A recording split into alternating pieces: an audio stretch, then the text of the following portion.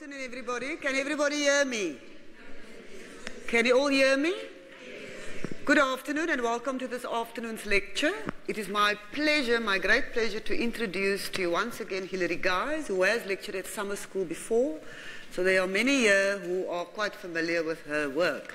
So let me just say a few words about Hilary. She's told me not to make it too long because she wants to get down to the bus- to business.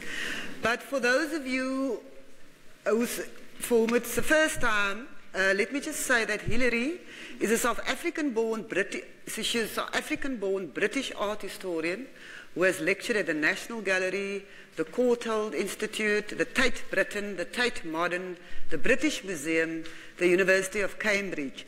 She has toured widely in the US, including the Smithsonian Institute. She is currently on the faculty of Florida State University. She is also a trained painter and exhibits regularly, mostly in Berlin, France, and the UK. Let us welcome her.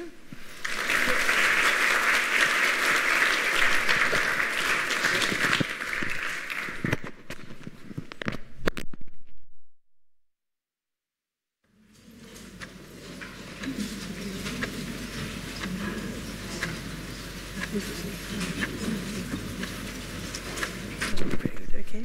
Put this back. Yeah. Just hang on, hang on, hang on, hang on, hang on. This has to get in the back here.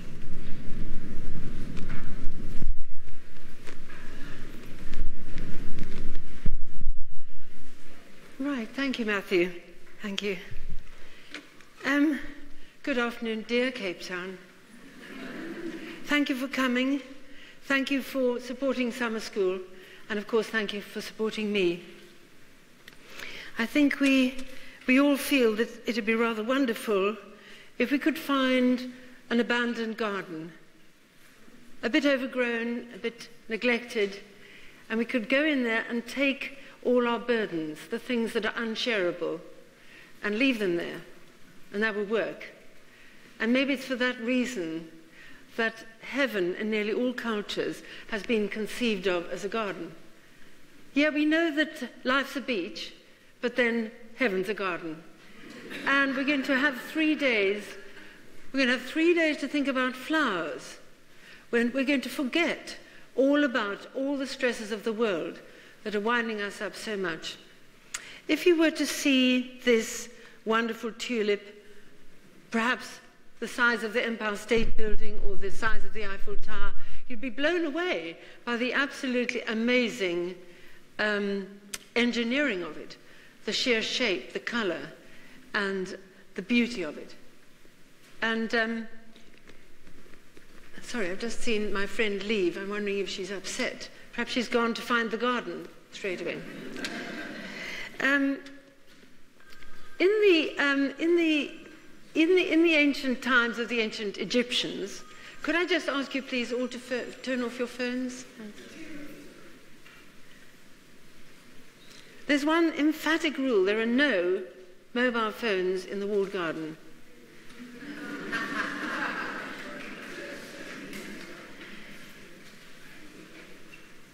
So we're in this tangled, abandoned garden. We've left our burdens there and everything's going to work for the next three days. And the ancient Egyptians were so much in love with the idea of gardens that you even had to have a garden after you died. Did you know that? And they made gardens for the afterlife. So here is a beautiful garden that you could see, and they hadn't quite cracked the problem of perspective, so they didn't know what to do with the trees down here which are that upright, while those ones are side ones, and as you can see, a problem. But you see, all the trees are full of fruit. There are palm trees with dates, and, and there are ducks, and there are fish, and there are um, lotuses in the pond, and even a gardener in the corner.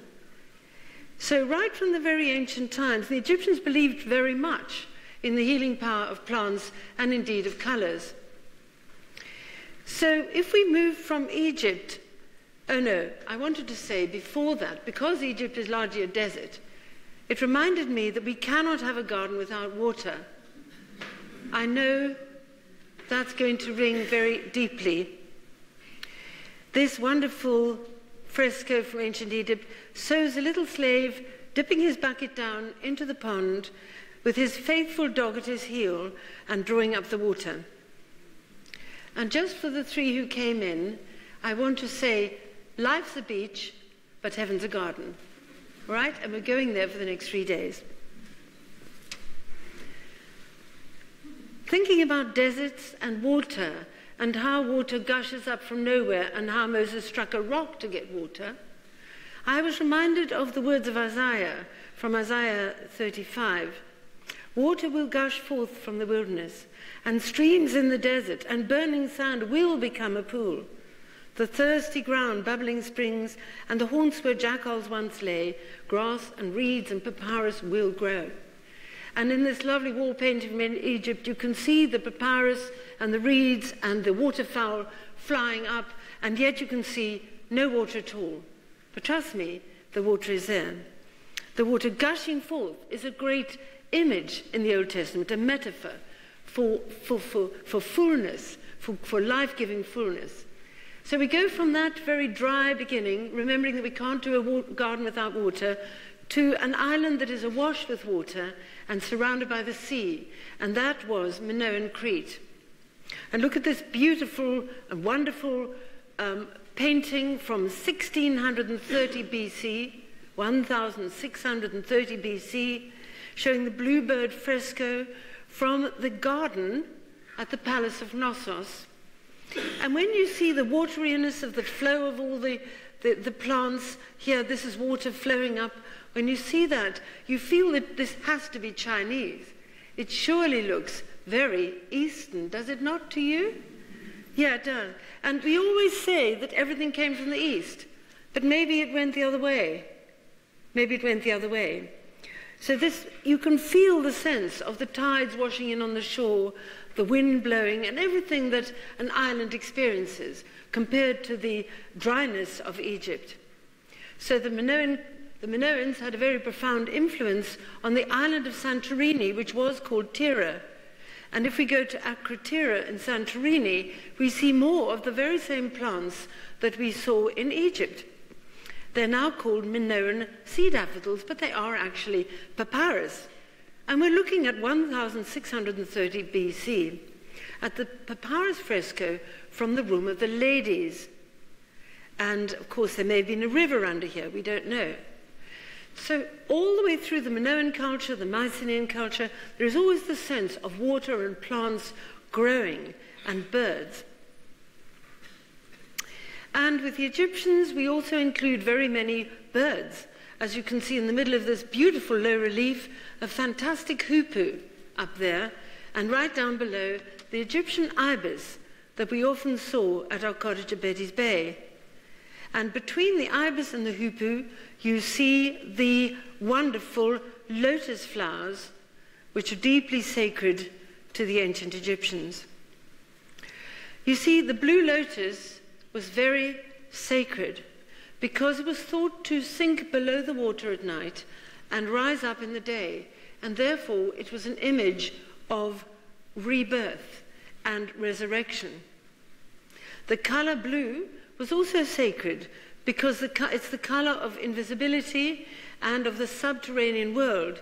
And indeed, the bodies of Isis and Osiris were painted blue. Blue was also the color of the breath of God, which went on to be very important in Greek culture, the pneuma theou, the breath of God that you have in your lungs. And the blue lotus then has all of these associations, plus it gave on a very, very faint aroma, but you had to be trained to smell it. It was so faint. The lotus, in addition to all of this, really symbolized Egypt's triumph over the floods.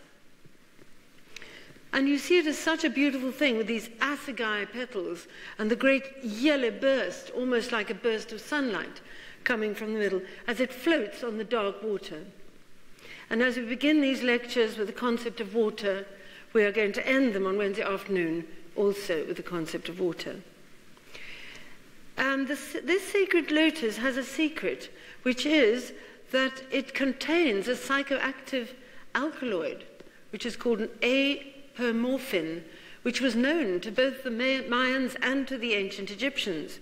And it produces a sedating effect. I don't know if it's like uh, morphine or not. But very recently, that's 2009, several countries, including Russia, Poland, and Latvia, have claimed, called it a Class A drug, and you can go to prison for 15 years if you have it. So that's the downside. But now we're going to leave the gardens of ancient Egypt and the Minoans and go to a subterranean secret garden. And this garden was built for the Empress Livia, who was married to Augustus, the first Roman Emperor Augustus. Livia was actually married to somebody else, um, and she had one child, and she was three days off delivering the second child when she fell in love with Octavian, and three days after the delivery of the child, she married Octavian, who became Augustus. So Livia built a beautiful subterranean garden, and it had no windows or doors because of the threats of assassination. And you look at this very simple branch, it is incredible everything the Egyptians didn't do, the Romans could do in terms of turning the forms around, in terms of allowing the light to creep behind it. These leaves are in silhouette, whereas these leaves have the light on them. And you have the sense of the folding in of light among the leaves. And it's the most, I've been there, it's the most extraordinary experience to walk around this and imagine that the Empress Livia herself would sit there every day. And she constructed it behind a wall. So it's built behind a low wall, and weeds are on the outside to create the illusion of reality. So you can see the weeds coming up here along the outside. And a dear little dove who's been perched there, cooing away, waiting for her mate for about 2,000 years, which is a bit sad, really. She reminds me of Beatrice, my, my tame dove at home, actually. But when you think about the flowers, so of course roses, because Livia wanted her garden to be beautifully scented, and the marvelous depth, the sense of forest that you can't penetrate. Perhaps this is the blackbird that sings at the break of day, except he hasn't quite got a, he might have had a yellow beak once, and maybe a jay down here.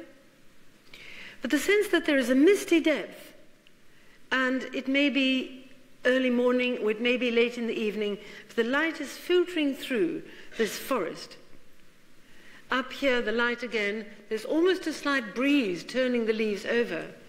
And on this side, you can see so many birds as you look way deeply, deeply into the depth of the forest. And looking at the branch of pomegranates, remembering my pool when I was young and the birds at home here in Cape Town, I wondered if certain words came to your mind as well.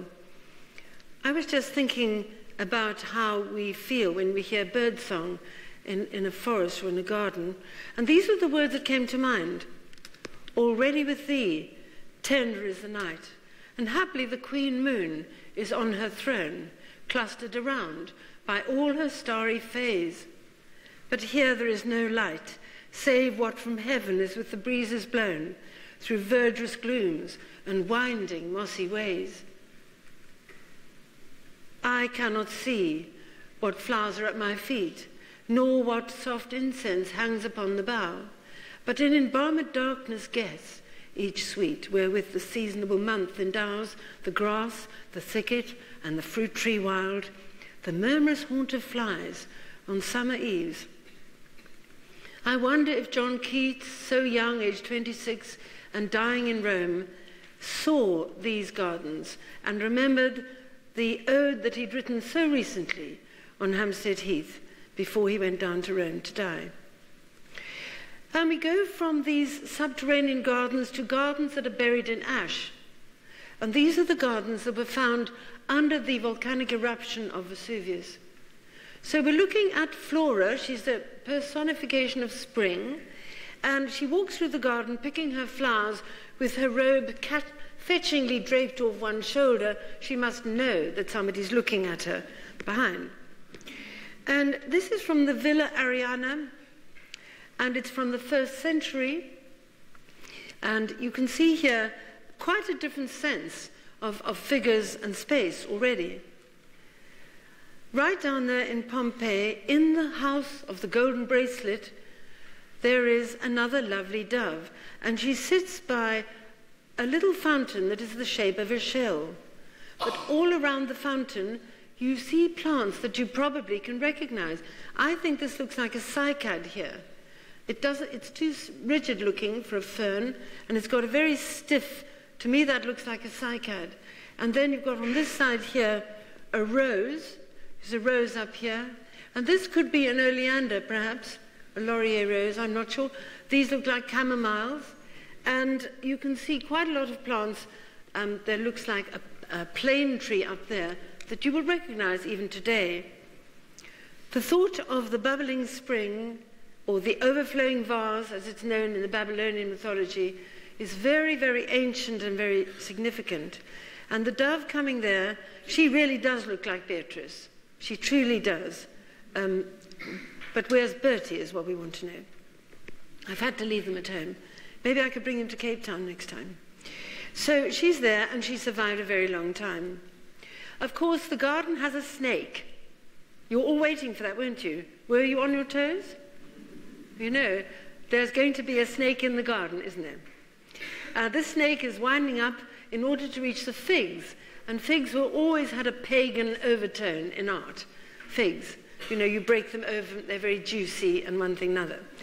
So when we see the tree with the, with the serpent winding up it, that takes me straight back to the golden light of sunset, the very edge of the world, beyond the Atlas Mountains, at the very end of Oceanus, the world ocean, where the Hesperides live live. And the Hesperides then are these Greek nymphs.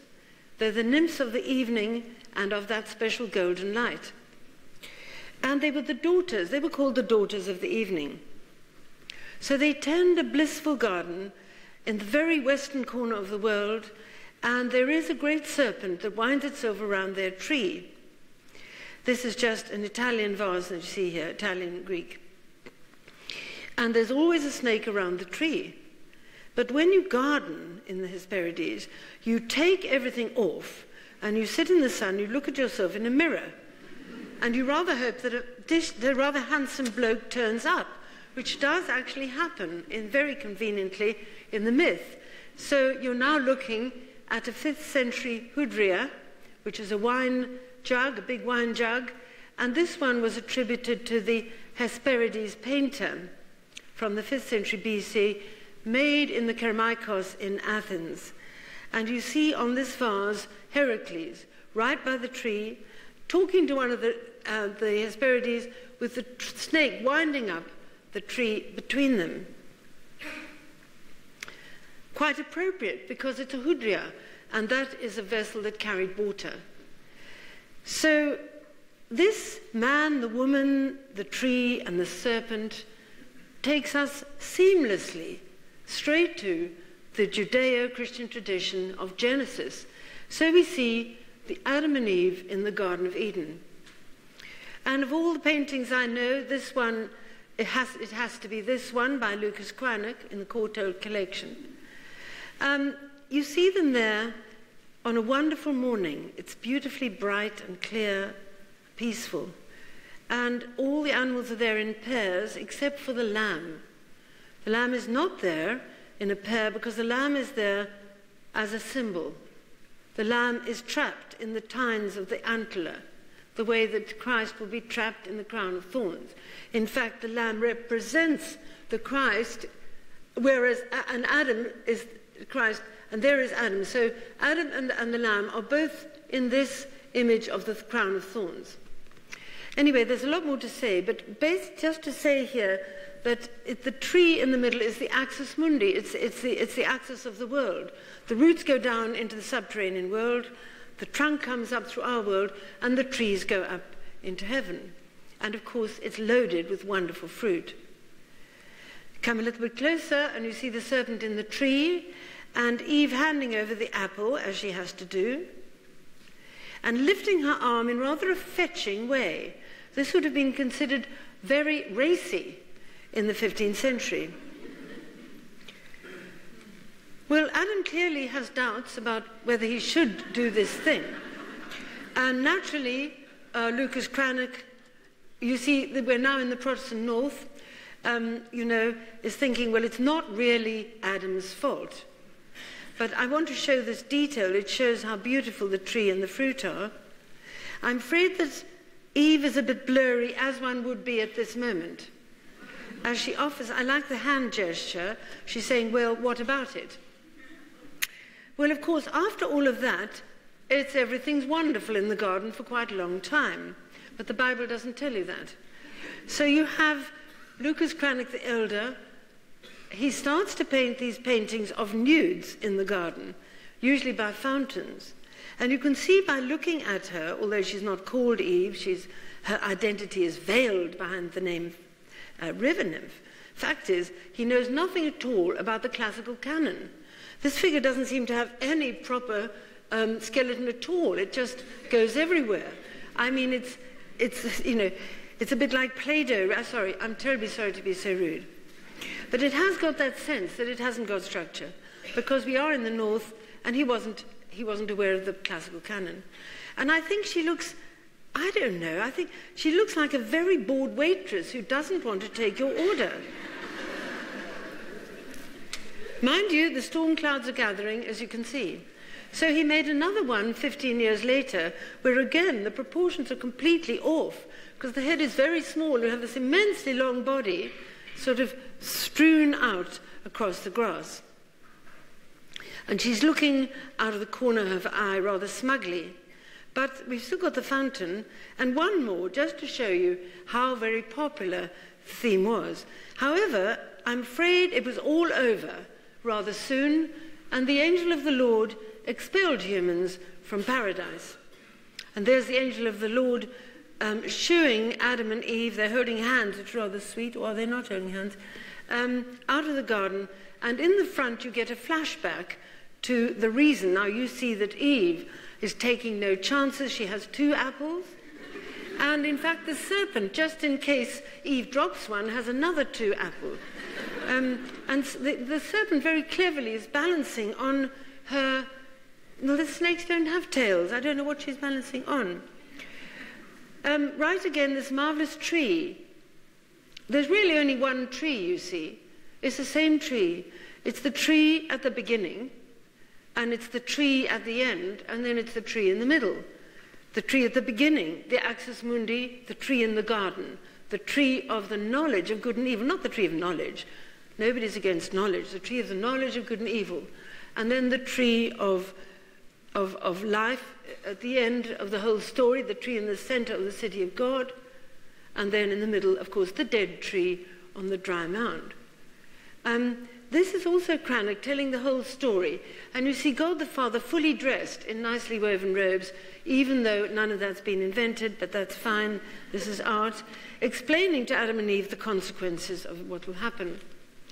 So uh, we found that in Flanders and in Holland, there were quite a few artists that really enjoyed um, interpreting um, the Garden of Eden.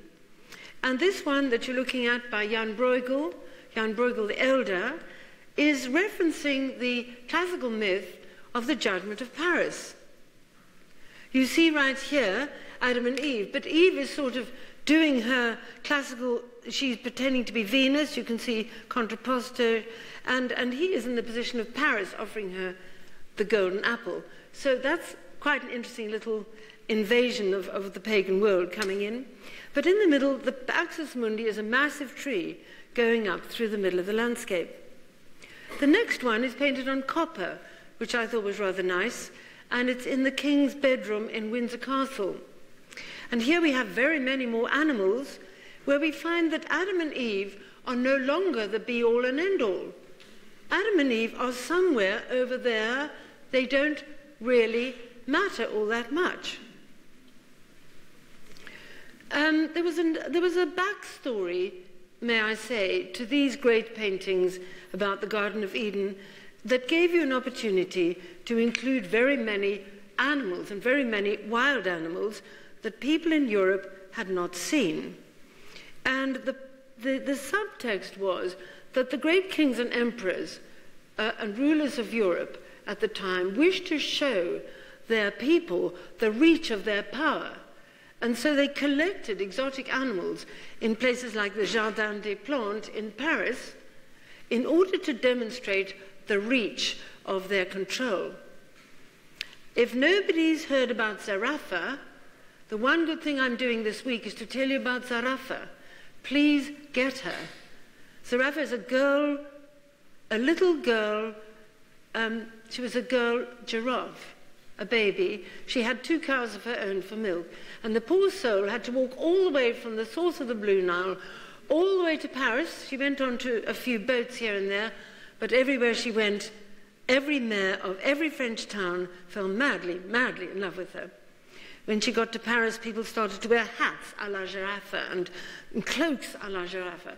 And she was the bee's knees, but she was very lonely and she died in Paris. So she was one of the examples of animals going back. Hmm? Uh, this is actually an unknown naive painter. I put it in because it is so naive.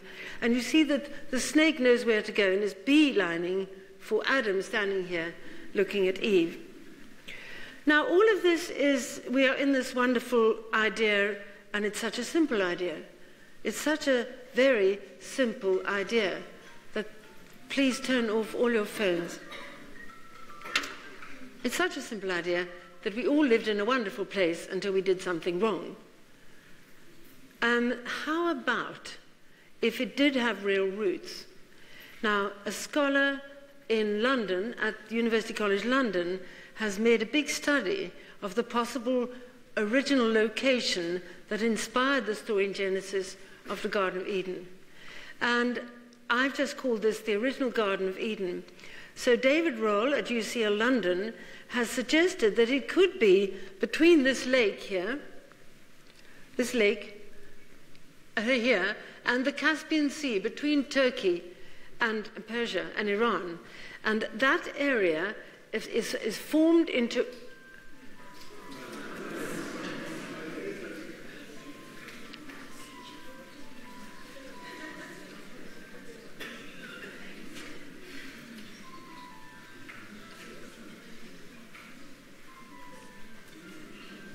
Please, could we, would you like to, please, could we turn off all our phones? Thanks. It completely breaks the magic Never mind, we are now trying to find the real Garden of Eden. And these are some of the facts. So that in 1999, the ruins of an ancient garden were found 16 kilometers from the Persian city of Tabriz. And David Rohl, in this, um, in, this, uh, in this journal, the Jerusalem Report, in a particular article called Paradise Found, said, As you descend a narrow mountain path, you see a handful of beautiful, you, sorry, you see a beautiful alpine valley, just like the Bible describes it, with terraces of orchards on its slopes, crowded with every kind of fruit laden tree. And in the biblical word Gan, as in Gan Eden, means walled garden. Rose says the valley is indeed walled by high, towering mountains, the highest of which is a volcanic snow capped mountain, which is now extinct, which he identifies as the prophet Ezekiel's mountain of God, where the Lord resides among red hot coals, as in Ezekiel 28. He also says that cascading down the mountain, exactly echoing Ezekiel, is a little river, meaning bitter river, and that, that people um, attribute magical powers to the water of this river. So he also suggests volcanic ash from the mountain would have made the ground very rich and therefore the valley very fertile. So that is a possibility to think about. And here is an actual photograph of the valley as it is today that might have been the enclosed valley which inspired the Gan Eden uh, story in Genesis. And this is the actual river that is mentioned that rises from the headwaters in Eden. But in Persia, Persia is described as a spring garden, and in this wonderful image, you see the mountains at the back all volcanic, and that the whole place is like a garden full of flowers and animals. And of course, in the Persian rugs, you see gardens over and over and over again. This is a beautiful rug from Isfahan of the Paradise Garden, and you see that the Paradise Garden has a square pond of water in the middle of it right there And the water goes out to the north, the south, the east, and the west. And you can see all the trees on the edge of the water, the ripples on the water, and you can even see fish swimming in the water. It's an absolutely beautiful rug. But it wasn't only on the rugs that they portrayed the wonderful paradise garden, it was also on the tiles in the mosques. And I couldn't, I didn't take a whole wall, I've just got one tile to show you a really beautiful poppy seed head on the mosque in Istanbul, one of the mosques. So, when you were in Persia as a princess, you would relax in your garden with your hat to shade your beautiful white skin, and there would be a beautiful a bottle of wine and a cup and a pond and a tree. And looking at that, how could we not think about the words of the Rubaiyat of Omar Khayyam, which was written um, in the 11th and early 12th century. And come fill the cup, and in the fire of spring, your winter garment of repentance fling. The bird of time has but a little way to flutter, and the bird is on the wing. Omar Khayyam, it was translated by Edward Fitzgerald and first published at the end of the 19th century. By about 20 years later, it was the be all and end all of every single educated person's bookshelf. So we leave the Persian gardens now and come to the flowery gardens of Europe. And um, when we think about Europe, we cannot but think about Eleanor of Aquitaine, who was the first Queen of France and later became Queen of England, who, with her daughter Marie, was credited with developing the whole idea of courtly love, which softened the entire culture of those very dark ages, you know, which was overrun with barbaric barons fighting. And the, the, the, the whole principles of courtly love uh, brought a feminine touch. Eleanor's grandfather had been a troubadour, and he spent, she spent her childhood reading poetry, listening to music, and appreciating the arts at the court of Aquitaine. In this miniature, you see a man and woman presumably plighting their troth under a rose tree while she holds a little puppy in her arms. Rather nice. So, the walled garden is a very, very big um, feature of culture in the Middle Ages, not only in the castles, but very much in the literature and in the miniatures. And this is a, a miniature that illustrates um, Boccaccio. It shows Amelia in her garden from a little novella by Boccaccio that Carol will probably know off by heart. And you see her sitting there surrounded by a fence of white and red roses. And in front, there are actually pinks. Can you see these? Little pinks all the way around there. And the sense that you can walk around. So it does take something from the idea of the cloister, that you would walk around in your walled garden. Of course, she has extravagant blonde hair, which makes her very beautiful, very desirable.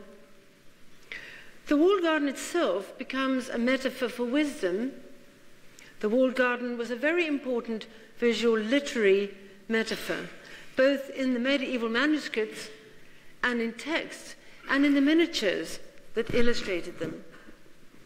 The compendium of Knowledge had titles that always related to gardens of flowers. I think it's rather nice. The flowers then were gems of knowledge that grew within the orderly environment of the garden.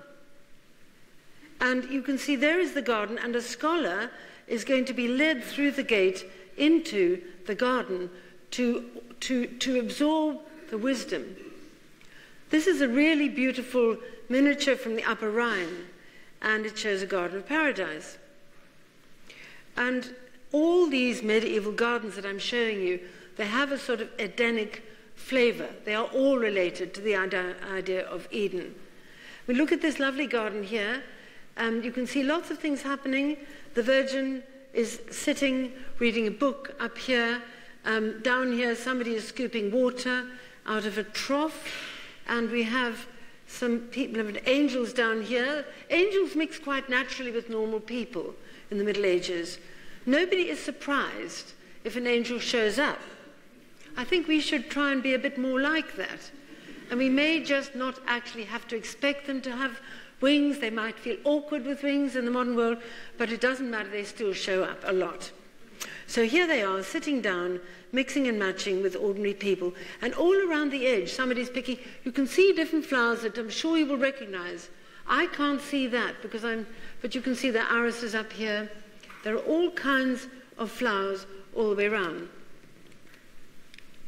And then there was the Romance of the Rose, a very famous romance which had a great impact on the whole culture of the idea of the walled garden. And in this poem, it was really an allegory of courtly love. And the lover, in the quest for the rose, his beloved, arrives at a beautiful orchard enclosed by a high wall. And this is the walled garden of the God of love.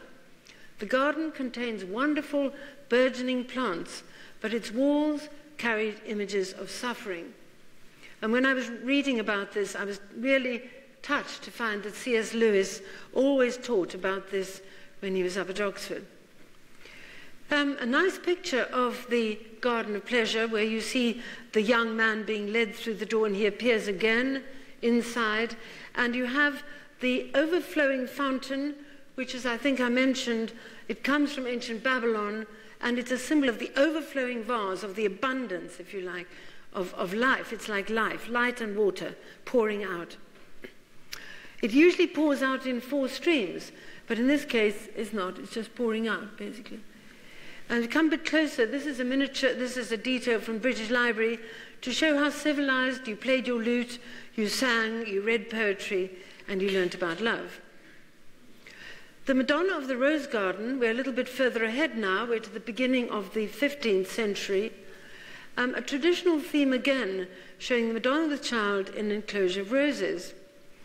The idea of the enclosure becomes again a metaphor for the Virgin herself. And in this very beautiful miniature with the gold background, we can see very many things going on. We find there angels, maybe I can go a bit closer.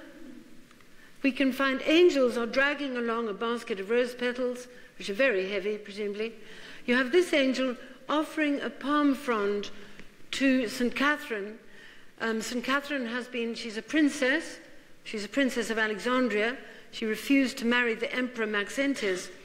And so she was killed on a, on a wheel, but she didn't die. So she was beheaded, and you can see the sword here. So she's been offered the, the martyr's palm. And on either side, you see peacocks. And peacocks, again, go way back to Hera, the wife of Zeus, and to Juno, the wife of Jupiter, and then they become an image for the Virgin Mary. And people believed in the ancient world that peacock flesh did not corrupt when it died. So peacocks became an image of immortality. And you'll frequently see a peacock around wherever you see the Virgin Mary.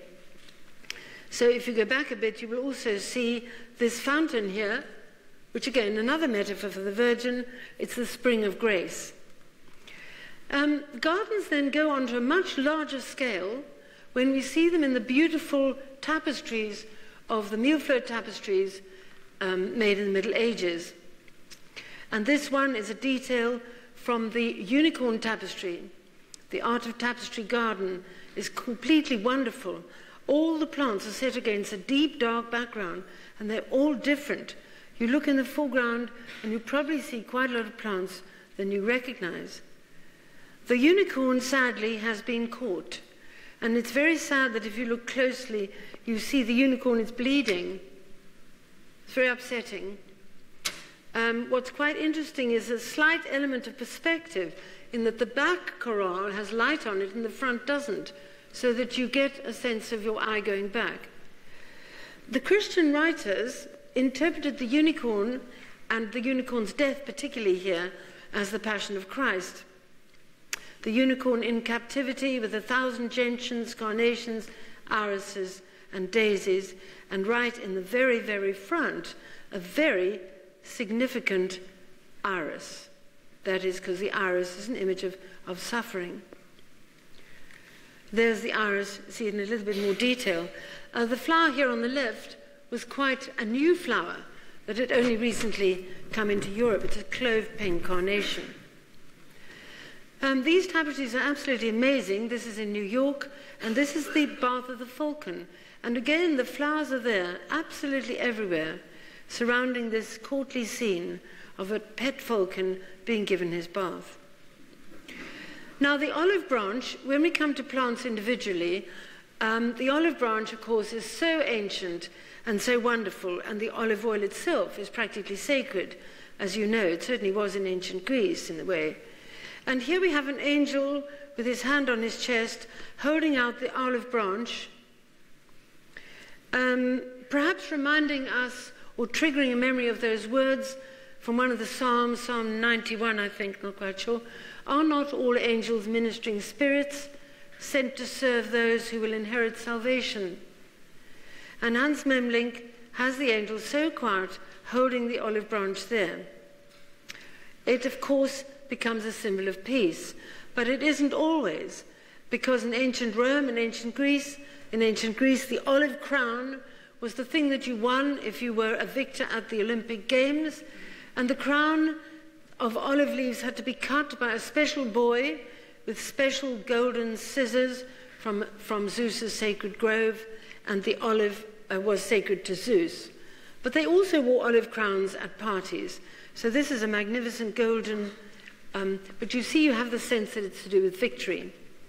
As we move into Christian era, the olive branch is associated with the idea of peace, and the, it's in the beak of the holy dove. Um, this is rather lovely early burial. It's the front of a burial uh, plaque from the catacombs. Uh, the man there is praying. Well, that's how you pray. Nobody prays like this.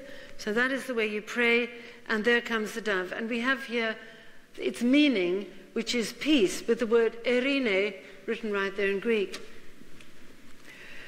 When, uh, when Gabriel comes to bring the news of the incarnation, um, Gabriel is flying down from heaven, and Gabriel's cloak flies up in a very Baroque manner. But wait a bit, we're not in the Baroque, we're not in the Renaissance. That's been done very daring to give the sense that wind is blowing Gabriel's cloak up. And this is by an amazing, on part of an amazing panel by Simone Martini. So Gabriel there, Gabriel, in Hebrew, it means God is my strength.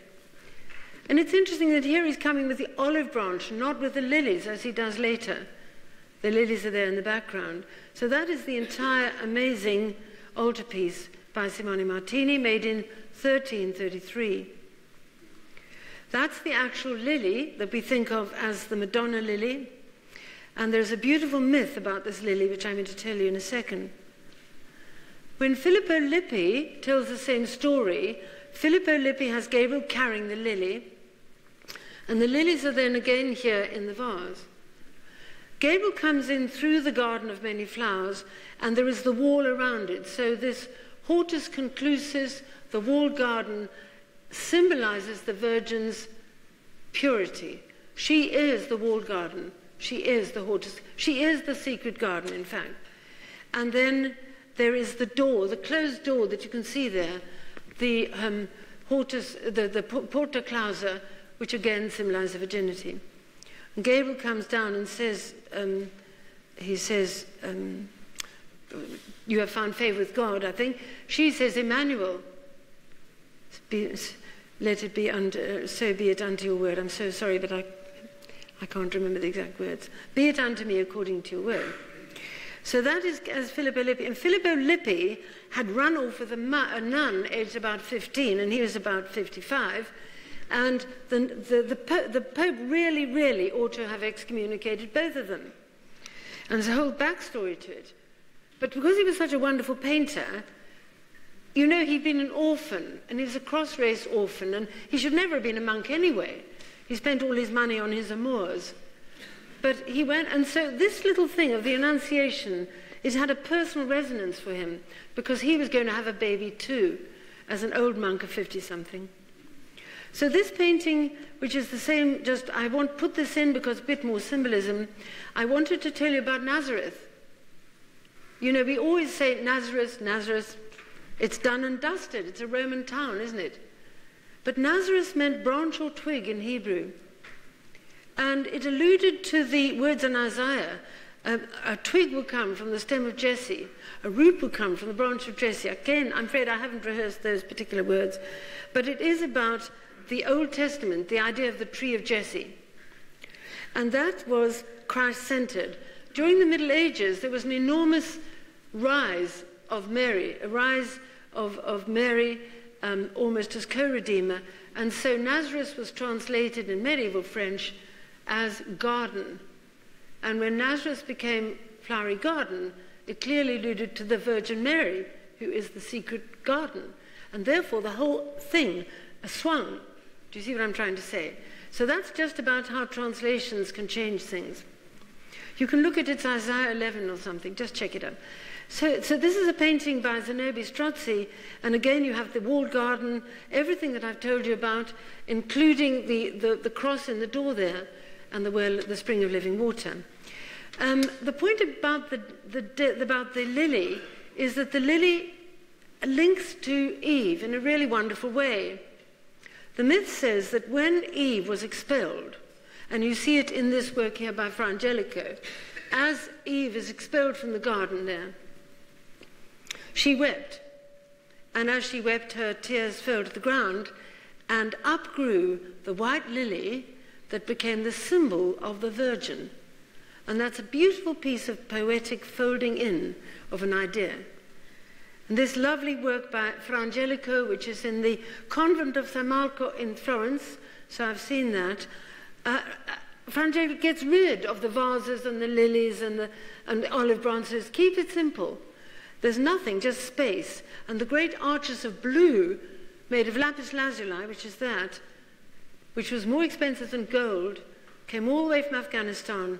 The Virgin is swathed in blue because she is resting in the wisdom of God, because that deep blue in the mystical tradition of Christian art symbolizes the deep and secret wisdom of God that is mentioned in the book of Job and also referred to by St. Paul. You see, you have to remember that you can't read. Nobody here can read anything. You're illiterate. And in the medieval world, everybody was illiterate. So pictures had to do a lot more than simply tell you the, the, the basic story. These, these monks that made these things imbued the paintings with levels and levels of, of meaning. I love this painting. I don't dare go there because I always have to have a big box of hankies. It is amazing. It's in the National Gallery in Edinburgh. And, um, and it shows Sandro Botticelli's amazing painting. In the privacy behind a hedge of roses, the Virgin looks at the baby who is asleep on her cloak. The imagery of the baby sleeping on the cloak comes from um, Flanders, but that's irrelevant really here. And all around her are the pink roses. Behind her is a towering pile of rocks, which just happen to take up the form of a cross. When you look at the Virgin, as she looks down like that, you also see that the Star of Bethlehem rests on her shoulder. And you see that the blue, pink rose, for Botticelli, the pink rose is the Virgin's most important symbol. And you look at it and you wonder about the baby. Is the baby asleep or something else? It's a most extraordinary painting. So the rose, they've got the lily, but the Virgin then is also symbolized by the rose, very much so in the Renaissance. And always, so this is a rose window. It's from the north transept of Notre Dame in Paris, and it is the life of the Virgin. And you look at that, you barely can see it because there's so much there. But the rose symbolizes then the unfolding of the soul towards God as the light comes through. That's why it has to be window. Quite wonderfully, we actually know the, the, the master of stained glass, we know him by name. Incredible, that. These amazing windows are just something else because they're full of sacred geometry and the numbers that had a metaphysical significance were used throughout the construction of the Gothic cathedrals. In every part of the cathedral, they had a metaphysical meaning and occult power. And they were used everywhere, particularly in the windows. Course, the unity of all things then is expressed by the circle That's why the window's are round. Um, you see here Botticelli, age 23, allows us to go behind the hedge. Um, we're now behind the rose hedge. The rose is still there, identifying the Virgin. And how do we know that we are there? We're, she's not on a throne or in a church or surrounded by angels. She's behind a hedge and we're there. But how do we know that? Well, we know it because John is looking at us. John is drawing us in by looking at us. Um, Botticelli is 23 years old when he made this, and it was made for the Medici. You can see their symbol. Uh, so the carnation is also important. It's a symbol of marriage and love, and we're in real uh, Renaissance mode in this painting because we have symmetry, balance, and geometry, the key features of Renaissance, and the red carnation there symbolizing um, love and, and marriage. This is a Milanese painter, therefore you've got more red and green. It's a bit closer to, to the Flemish painters. And I really rather like this very, very small and beautiful work by Roger van der Weyden. Again, have, the whole Virgin is covered entirely in red and holds up the red carnation. And the red then is again one of those mystical colors symbolizing God's divine love, which pours from the throne of God. So this whole painting, if it hasn't faded, was probably even redder. So we come to England and the idea of flowers and poetry, and um, I love this very, very famous miniature in the Victoria and Albert Museum by Nicholas Hilliard. So we're now well and truly into the English Renaissance. And you see him with his hand on his heart. He's probably in love. He may have written off a little sonnet. And the beautiful roses showing up against his black cloak. But obviously, now that we're here, um, and for the sake of various friends who are in this room, we have to talk about Shakespeare. I know a bank where the wild thyme blows, where oxlips and the nodding violet grow quite over-canopied with luscious woodbine, with sweet musk roses, and with eglantine, there sleeps Titania, some time of the night, lulled in these flowers, with dances and delight. Midsummer Night's Dream, of course. But this portrait you're looking at is the only extant portrait that was made during his lifetime and has only very recently been properly um, attested and identified. And so do look at this. You are probably the first people in Africa to see this portrait. And he's not bald and he's not old. He's young and lovely with a very delicate and sensitive face. He was very interested in plants, and at nearly 50 different specimens have been identified in his plays and poetry. And the last and the greatest secret garden of all, before that harsh light of the Renaissance blows them all away, is surely Botticelli's Primavera.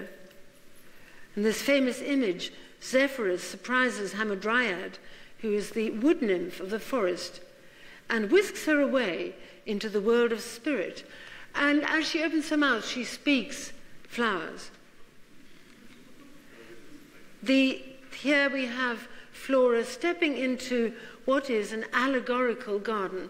All of these flowers, they represent the spirits of heroes who have died. And there are over 500 identified plant species depicted in Botticelli's La Primavera, with about 190 different flowers, of which 130 are actually named.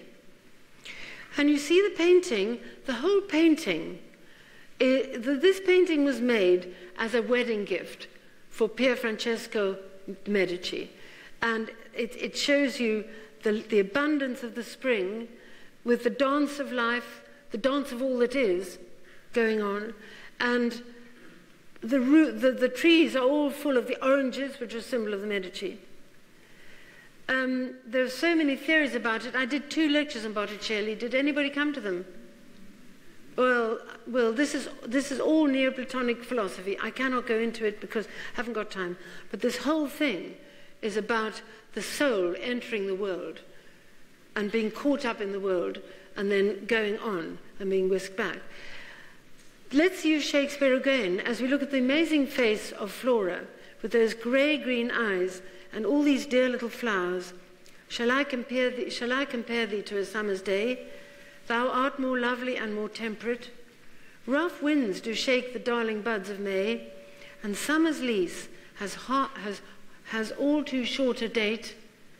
And often, in his gold complexion dimmed, and every fair from fair sometimes declines by chance, or nature's changing course untrimmed, but thy eternal summer shall not fade, so long as men can breathe or eyes can see, so long as, so long as lives this, this gives life to thee.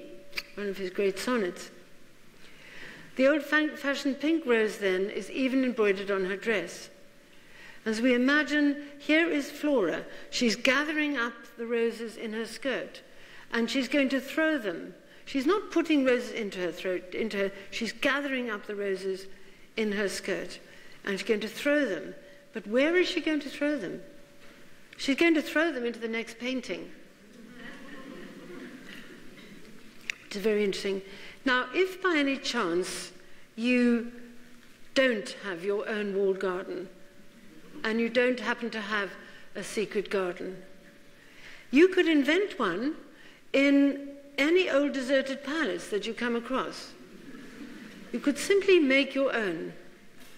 And you could do something like this on the walls of a deserted manor or palace to be rather nice.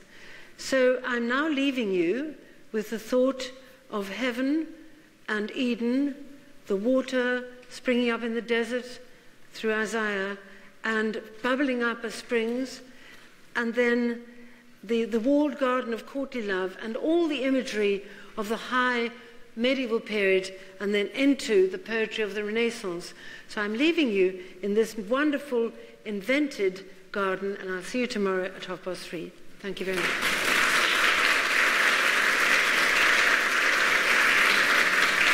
Thank you very much. Thank you.